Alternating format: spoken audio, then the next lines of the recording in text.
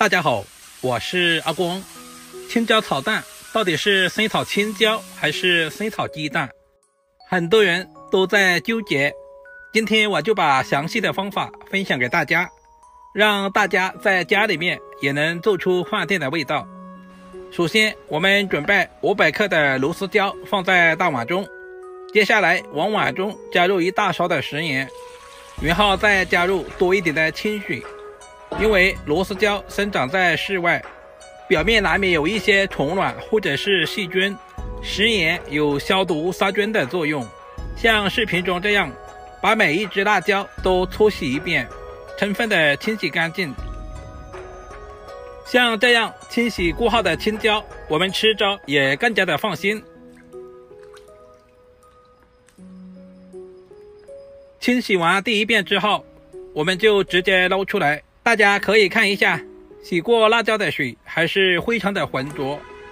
然后再次把辣椒放在干净的清水中，再次淘洗两到三遍。有条件的可以放在流动的清水下冲洗。充分的清洗干净之后，放在案板上。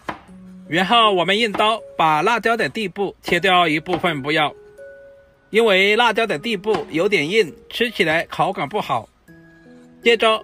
我们再把青椒来处理一下，准备一把小孩吃饭的勺子，把勺子把插在辣椒里面，然后像视频中这样转动一下。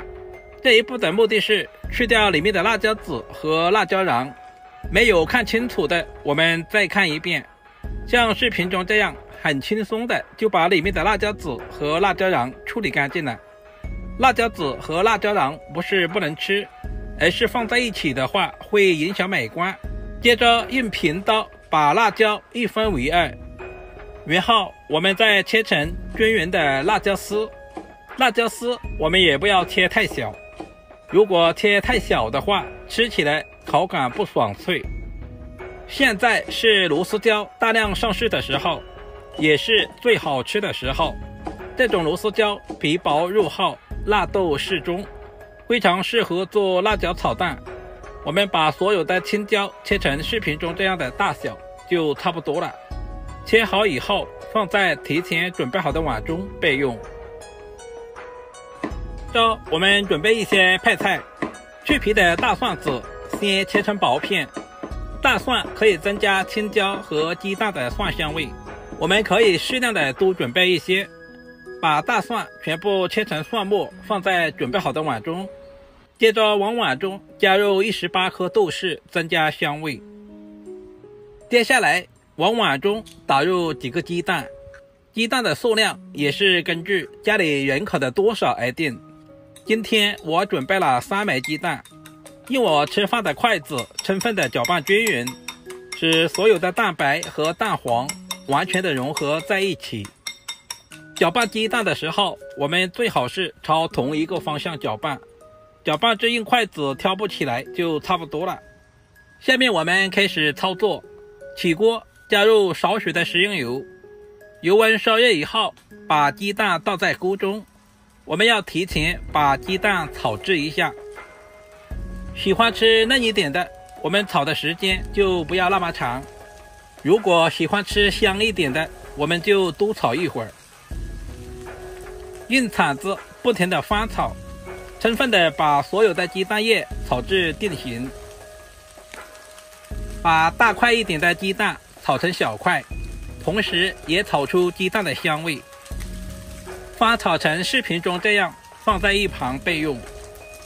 下面我们来调个碗汁，空碗中加入一勺生抽，少许的食盐调味，接着再加入少许的鸡精。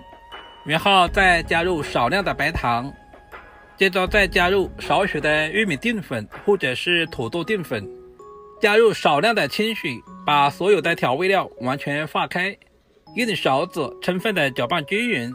提前调个料汁也是节省炒菜的时间。接着准备一口锅，不用放油，然后把切好的辣椒丝放在锅中。我们要提前把辣椒表面的水分炒干，这一步的目的是去除青椒表面的一些苦涩味。我们要不停的翻炒，用锅铲不停的按压。经过这样炒制过后的辣椒更加容易入味。大约翻炒一分钟左右，接着往锅中再加入少许的食盐，提前给青椒入下底味。再次翻炒均匀，把青椒炒至入味。很多朋友在做青椒炒鸡蛋的时候，直接把青椒放在油锅里面去炒，那样炒出来的青椒有苦涩味，而且不容易入味。所以这一步非常的关键。全部炒成视频中这样，放在提前准备好的盘中备用。接着另起锅。加入少许的食用油，然后把切好的蒜末和豆豉放在锅中，开小火煸炒，炒出蒜子的香味和豆豉的香味。接下来把炒好的青椒再次放在锅中，翻炒均匀，炒出蒜香味。亲爱的朋友们，视频都看到这里了，借您发财的小鼠点个赞再走呗，非常感谢。接着把炒好的鸡蛋也倒在锅中，再次翻炒均匀，使所有的鸡蛋和青椒完全的融合在一起。充分的翻炒均匀之后，我们再把准备好的料汁全部倒在锅中，再次翻炒均匀，把所有的青椒和鸡蛋炒至入味。青椒和鸡蛋已经提前炒制过了，所以我们翻炒的时间也不需要太长，大约翻炒二十秒左右，充分的把所有的鸡蛋和青椒炒至入味，翻炒成视频中这样就可以出锅装盘了。一道营养又下饭的青椒炒鸡蛋就这样做好了，是不是非常的简单？如果你也喜欢，就收藏起来，做给自己的家人吃，肯定不会让您失望的。这种螺丝椒没有什么辣味，如果喜欢吃辣一点的，也可以加一些小米椒在里面，添加少许的豆豉，可以增加青椒和鸡蛋的鲜香味。如果我的视频对您有一点点帮助，就麻烦点赞收藏。